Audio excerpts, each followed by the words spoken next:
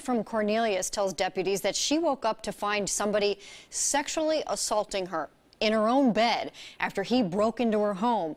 And tonight, those deputies have a suspect under arrest. Let's switch to our Lisa Balick, who's live in Hillsboro, where that man made his first court appearance. Lisa. Well, the man turned himself in here early this morning at the sheriff's office. He was wanted for a parole violation from a previous assault. A woman who lives on North Clark Street in Cornelius accuses 29 year old Edgar Perez of entering her home through an unlocked door, then climbing into bed with her while she and her fiance were sleeping.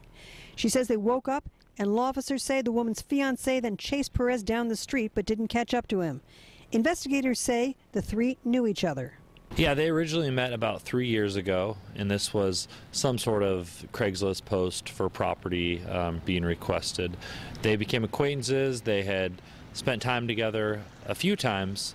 Um, their relationship was not sexual in nature. He did not have permission to enter their house at will. They originally met when the couple was selling a phone on Craigslist, and Perez had been to their house more than once.